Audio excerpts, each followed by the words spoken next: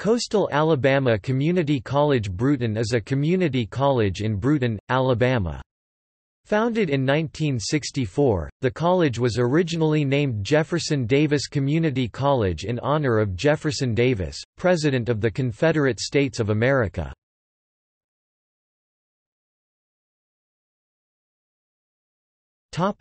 History The college was founded in 1964 as Jefferson Davis Community College.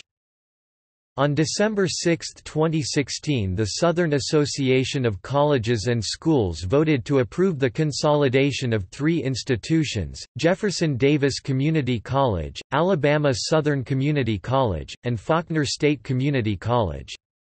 All of which would now collectively be referred to as Coastal Alabama Community College.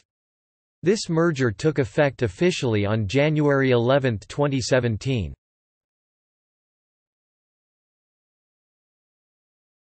Topic: Campuses. The college has campuses in Brewton and Atmore, Alabama. The Woodfin Patterson Auditorium hosts cultural events.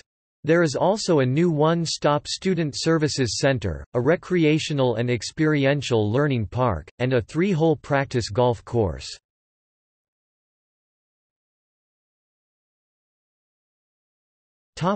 Organization and administration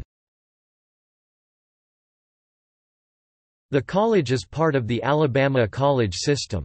It has a temporary acting president.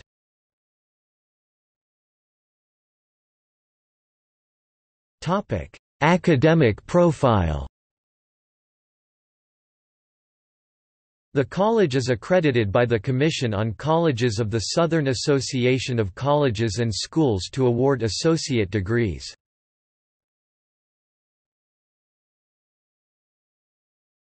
Topic: Student life.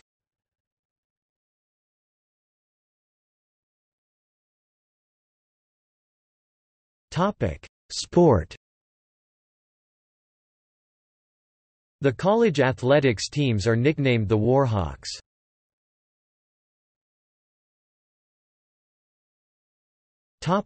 Notable people John Bale is a baseball pitcher who has played for the Toronto Blue Jays among others.